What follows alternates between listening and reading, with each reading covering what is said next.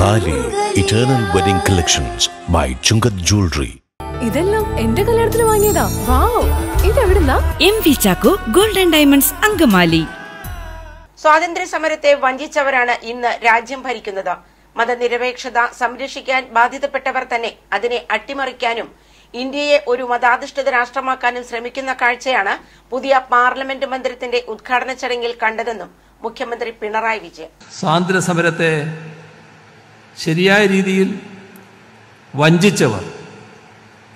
അവരാണ് ഇപ്പോൾ ഇന്ത്യയുടെ അവരുടെ പിൻതലമുറക്കാരാണ് നമ്മുടെ രാജ്യത്തിന്റെ ഭരണചക്രം തിരിക്കുന്നത് ഇതാണ് വന്നു ചേർന്ന വിരോധാഭാസം.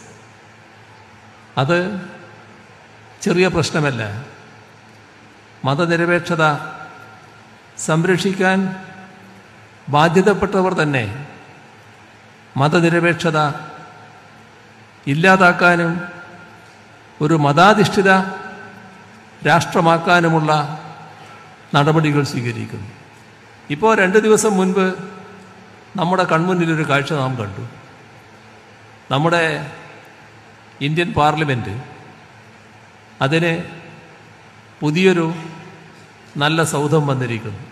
നല്ലത്. നല്ല പുതിയ സൗധം.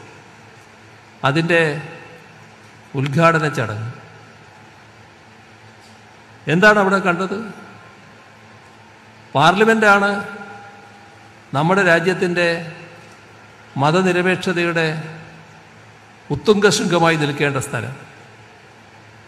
ഏറ്റവും വലിയ മാതൃകയായി നിൽക്കേണ്ട സ്ഥലം. പക്ഷേ നമ്മളവിടെ കണ്ടത് ഒരു പ്രത്യേക വിഭാഗത്തിന്റെ മതപരമായ ചടങ്ങുകൾ ആ പാർലമെന്റ് മന്ദിരത്തിൽ അതിന്റെ ഉദ്ഘാടനത്തോടനുബന്ധിച്ച് സംഘടിപ്പിക്കപ്പെടുന്നതാണ്.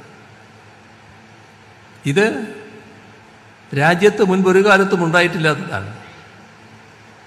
മതനിരപേക്ഷമായ ചടങ്ങുകളാണ് എപ്പോഴും നടന്ന നടക്കാറുള്ളത്. ഏതെങ്കിലും ഒരു മതപരമായ ചടങ്ങിന്റെ ഭാഗമായിട്ടല്ല കാര്യങ്ങൾ നടക്കാറ്.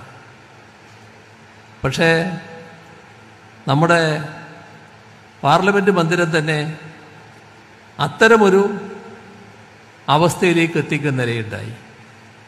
എന്താണത് കാണിക്കുന്നത്? തങ്ങൾ പറയുന്ന മതാധിഷ്ഠിത രാഷ്ട്രം അത് വെറുതെ പറയുന്നതല്ല. അവിടത്തേക്ക് ഓരോ ചുവട് ഞങ്ങൾ മുന്നോട്ട് പോയിക്കൊണ്ടിരിക്കുകയാണ്.